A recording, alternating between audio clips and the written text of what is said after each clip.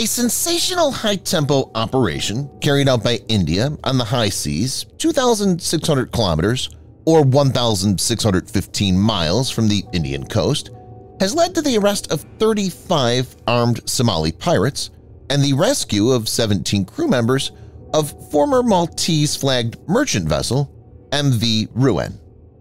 The operation, which lasted 40 hours, saw the involvement of multiple elements of the Indian military, which includes INS Kolkata, INS Subhadra, Marcos, C-17 airlifter, and Sea Guardian drones. Viewers may note that MV Ruen, a Bulgarian-owned but Maltese-flagged bulk cargo ship, was hijacked on the 14th of December last year by the pirates. In this video, Defense Updates analyzes how the Indian military freed MV Ruen from the clutches of Somali pirates. Let's get started.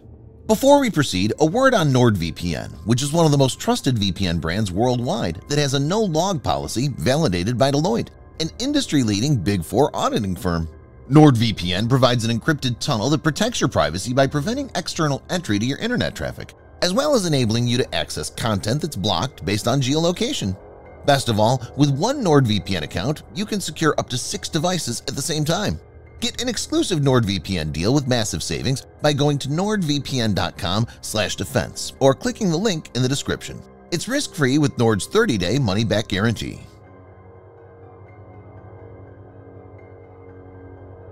MV Ruen was being used as a mothership by the pirates. It was being tracked by Indian forces for this reason, and once it came within the vicinity, INS Kolkata made its move. The destroyer maneuvered closer and intercepted it.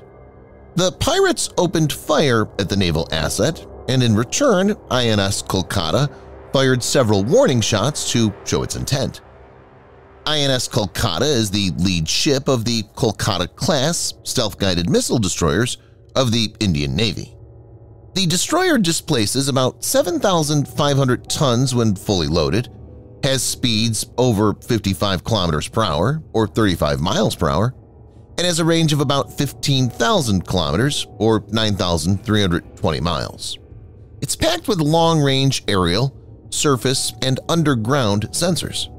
The destroyer also has a multitude of long and short-range weapons, which includes Barak 8 SAM, BrahMos supersonic cruise missile, four AK-630 six-barreled 30mm Gatling guns as CIWS, an OTO Melara 76mm as the main gun, two twin 533mm torpedo tubes, as well as RBU-6000 rocket launching system.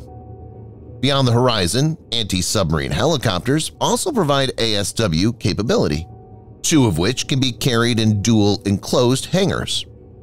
INS Kolkata carries the Westland WS-61 Sea King, a British license-built version of the American Sikorsky S-61, and domestically built HAL Dhruv. The sources indicated that the shots fired, both from the helicopter and the ship, were intended as warning shots near the hijacked vessel rather than directly targeting the pirates. This measure aimed to avoid any potential harm to the crew on board. Furthermore, it was reported that the Indian Navy headquarters was informed of the pirates' firing, prompting authorization for the captain of INS Kolkata to employ necessary measures to prevent their escape. Simultaneously, a comprehensive plan of action was devised in conjunction with the security establishment and the Indian Air Force. A call was taken to airdrop Marcos Prahar into the zone of operation to force the arrest of the pirates. The Marine Commandos, abbreviated Marcos, and officially called the Marine Commando Force MCF, are the special forces of the Indian Navy. Marcos Prahars is squad of eight commandos. Accordingly, a C-17 aircraft took off from a base in India with Marcos on board who were airdropped into the area along with two combat rubberized raiding craft, CRRC. INS Subhadra was also diverted to the area of operation. Viewers may note that the Indian Air Force has a fleet of Boeing C-17 Globemaster III strategic airlifter planes. INS Subhadra is a Sukanya-class patrol vessel. It's a large offshore patrol craft in active service with the Indian Navy. The Marines disembarked upon the open sea with their vessels and advanced toward the hijacked ship while warning shots were discharged to deter the pirates from engaging in any hostile activities. Marcos are very proficient in several domains, which include counterterrorism operations, special reconnaissance, unconventional warfare, amphibious assaults, rescue and evacuation, counter-piracy operations, protection of offshore assets, underwater demolition and clearance, boarding and search operations, vital asset protection, hostage rescue operations, close quarter battle CQB, intelligence gathering, and training and support.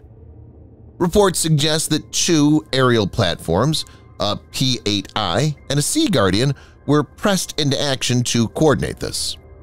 The Boeing P-8 is a long-range, multi-mission maritime patrol aircraft. It's capable of conducting anti-submarine warfare ASW, anti-surface warfare, search and rescue, and intelligence, surveillance, and reconnaissance missions. P-8 is equipped with AN-APY-10 radar, which is installed on the enlarged nose fairing. The AN-APY-10 radar provides the Synthetic Aperture Radar, or SAR, mode capability for imaging, detection, classification, and identification of stationary ships and small vessels, and for coastal and overland surveillance as well as the High-Resolution Imaging Synthetic Aperture Radar ISAR mode for imaging, detection, classification, and tracking of surfaced submarines and small, fast-moving vessels that operate in coastal waters. The Indian variant is named P-8I and has some specific customization. U.S. origin General Atomic Sea Guardian is a long-range surveillance drone. It's essentially a maritime variant of the Predator MQ-9 unmanned aerial. Once the pirates understood that there was no escape, they dropped their arms and were taken into custody. From 2008 to 2012, Somali pirates commandeered numerous vessels, reaching up to a staggering 1,000 ships off the coast of Somalia. Although piracy in Somalia has decreased in recent years, it has not come to a complete halt. The latest rescue mission is the second anti-piracy mission by the Indian Navy this year. In January, the Marcos liberated Liberian-flagged MV Lila Norfolk, rescuing a 21-member crew. Also on March 6, the Indian Navy assisted Barbados-flagged merchant and Greek-operated vessel MV True Confidence, which came under attack of missiles by Houthis. In response to the rescue operation, Bulgarian President Rumen Radev expressed heartfelt gratitude to Indian Prime Minister Narendra Modi for the courageous actions of the Indian Navy. In a post on X, formerly Twitter, President Radev wrote, My sincere gratitude to PM Narendra Modi for the brave action of Indian Navy rescuing the hijacked Bulgarian ship Ruen and its crew, including seven Bulgarian citizens. It's evident that the Indian forces are capable of undertaking complex operations in the high sea, far away from its coastlines. This operation also shows that the Indian military is getting benefited from platforms acquired from the U.S. Subscribe for more videos like this.